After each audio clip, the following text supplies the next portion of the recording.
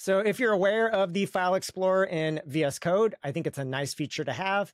And so when I'm working over on the Vim side of things, I'd like to have something similar. And I found a really good extension to basically mimic the functionality, or at least everything I care about.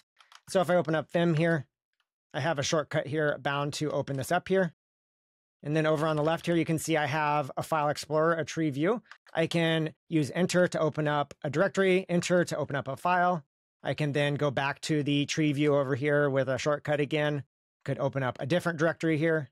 And there actually are a ton of options that work with this. There's a shortcut G and a question mark opens up a pane of all the different contextual actions you can use. For example, if I want to add a file here, I could go into this directory, hit A, down in the bottom where the command line would normally be at, it's got the full path to the file. I could change the path if I want, or it's in the current selected folder. I could then do something like foo.txt, hit return there. That creates that. I can even use A again. I could create a directory with dir and then one. If I put a forward slash on the end, that indicates it's a directory.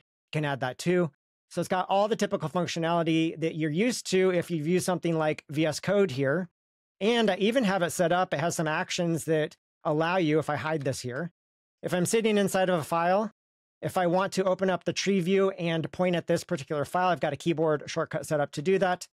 And that actually just ties back to a command that's provided by the extension. It is the nvim and then tree and then find file or find file toggle.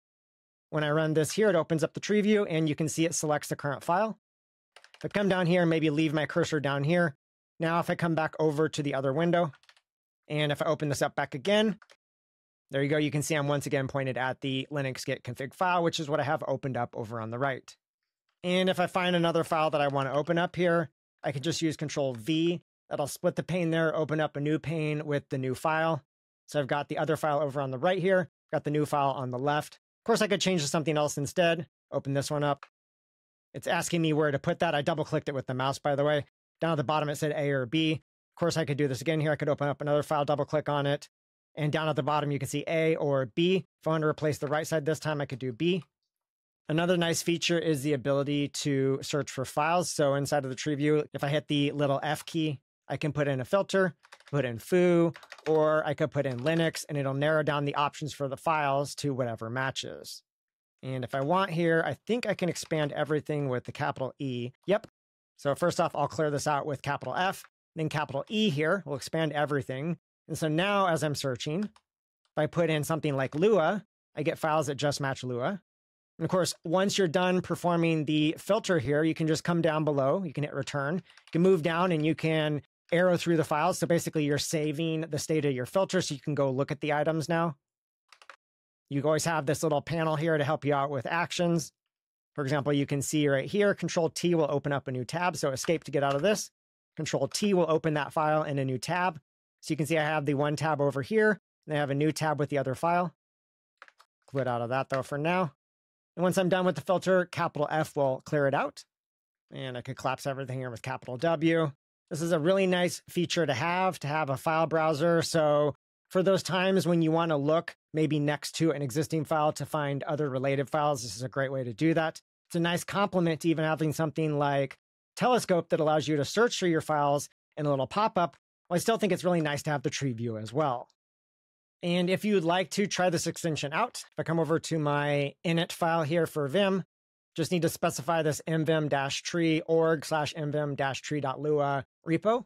This is the repo out on GitHub here. Take a look at the docs here. There's a ton of great information about how to set this up. There's even a section here with recipes for integrations and advanced things you can configure. And then basically, once you have included that particular plugin, just require it to set it up then. And then I've set up some key mappings. For example, here's the mapping I set up with control L and normal mode to toggle the find file feature. So control L here, that'll open that up. Control L will close it again, or control shift L works as well.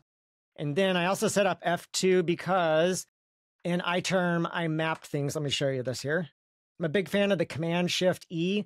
And so in iTerm 2, my terminal, underneath the keys, I set up a key here for Shift Command E to bind to an escape sequence that's for basically F2. So I can do Command Shift and E, and that'll open that up. If it's not open already, I'll close it real quick though. Command Shift and E again. You can see that opens it up. So set up a few key mappings however you'd like it. And then, yeah, take this for a spin and let me know in the comments down below. Is something like this helpful? Or is the Tree View Explorer a dumb thing to even have in the first place? And that's why it's in VS Code? Let me know down below.